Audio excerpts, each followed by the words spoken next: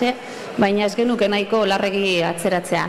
Beraz, oraintze, programan adierazten den bezalaxe, atal batean, mm, bi iru minututako interbentzio txiki batekin, geure osalaneko teknikariek eta noski laguntza profesionalekin e, egindako bideo bat erakutsi behar dizuegu. Bideo horren e, izenburua eh, da cómo afrontar los problemas psicosociales en el trabajo.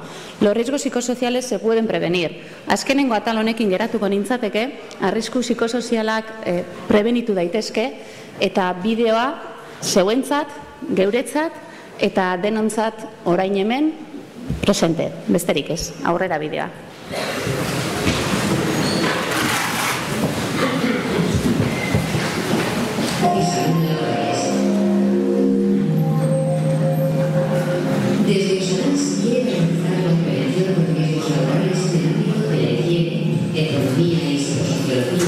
Seguridad y medicina del trabajo.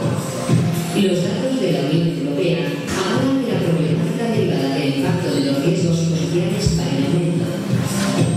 Por lo que Osalán, desde hace unos años, está haciendo hincapié en la prevención de los factores psicosociales adversos en las organizaciones, intentando darles de esta manera el mismo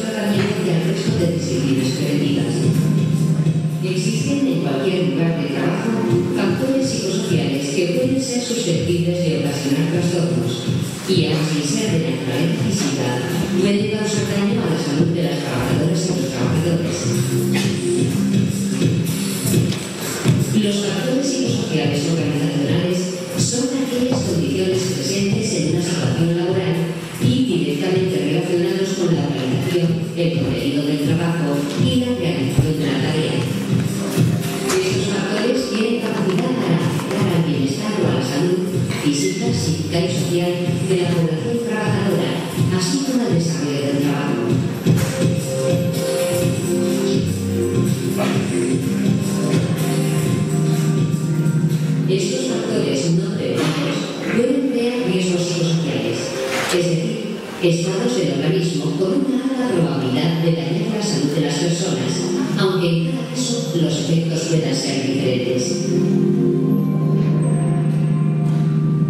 Podríamos enumerar factores como sobrecarga de trabajo,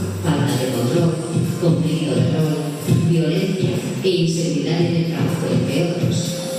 Todos ellos pueden desencadenar el estrés laboral u otros riesgos psicosociales graves. Los datos indican que los costes derivados de los riesgos psicosociales son excesivamente altos.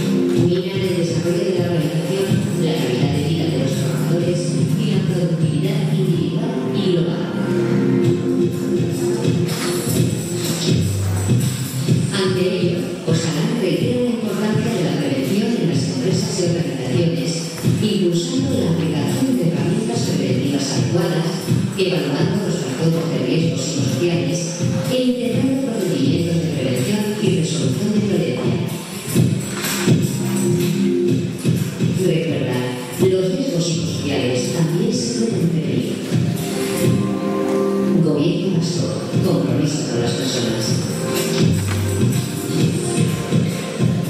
Bideo hau eskuragarri dago, bai euskaraz, gazteleraz eta ingelesez geure webean. Gaur jadanik eh, jarrita dago, beraz, bertan daukazue nahi izan ez gero. Orain, e, gaur hemen gurekin egon diren eta hiru esperientzia praktiko bezala ekarri ditugun e, enpresei nolabaiteko errekonomizimendua egin behar e, diegu. Beraz, e, Pablo, e, ez dakit justu atera zait, Bueno, ba, nik egiten dut, lasai, nik neuk egiten dut. Eh, antes de comenzar con la segunda mesa, considerábamos oportuno hacer una especie de reconocimiento a las empresas que hoy aquí mm, nos van a aportar sus conocimientos, sus experiencias en riesgos psicosociales. Son eh, tres experiencias. La experiencia de Vidrala, nos acompañan Jesús Azcúnaga y Irache Vergara y da la continuidad al acto Pablo Uriarte, subdirector del- de planificación de Osalán. Eh, sí, justo me han pillado en el proscenio porque me faltaban ponentes de la mesa. que justo acaban de aparecer. Pero bueno, afortunadamente estos problemas del directo se suelen solucionar en el último momento y bueno, creo que ya, ya los hemos solucionado. Bueno, pues eh, voy a pasar aquí.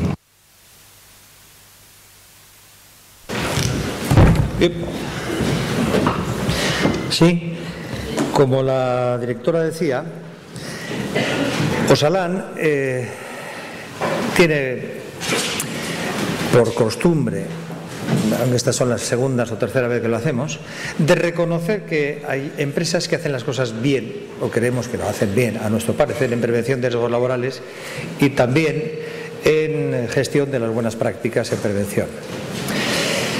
Eh, no podía ser menos que en estas jornadas de psicosociología laboral, las quintas, que ya empezamos a peinar canas en jornadas de estas características, reconociéramos también, a juicio de nuestros técnicos y técnicas de, eh, que realizan la actividad en psicosociología laboral en Osalan, de algunas que reconocemos algunas empresas que lo han hecho, que creemos que lo han hecho bien y han aplicado unas buenas prácticas en psicosociología laboral en sus empresas.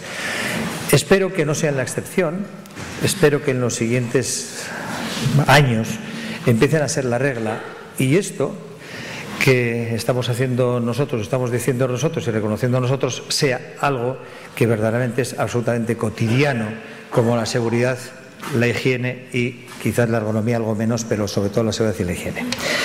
Eh, Osalán reconoce a la empresa Vidrala, eh, que se dedica a la comercialización y a la fabricación de envases de vidrio, sus eh, buenas prácticas en psicosociología laboral. Recoge el reconocimiento Jesús Azcuénaga Méndez.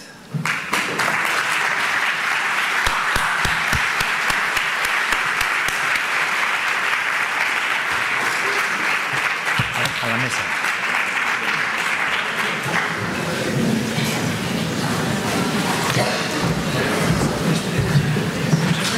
No, no, a la mesa, la mesa.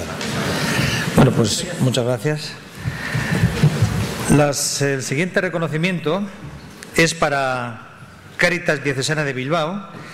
Son 138 personas eh, en plantilla con 2.700 eh, voluntarios y un, 85, un 80% de mujeres en, los, en, ambos ámbitos. Y eh, recoge el reconocimiento Machalen Somoza.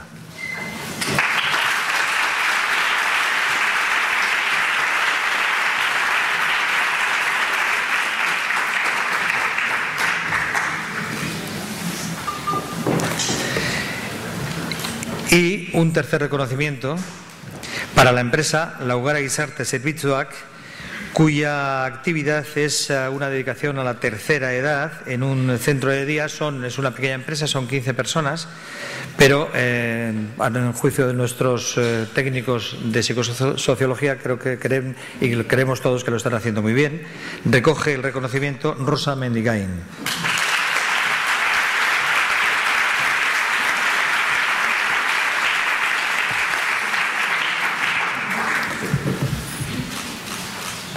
Y sin más, me paso a la mesa y vamos a empezar a que nos comenten sus experiencias en sus distintas empresas.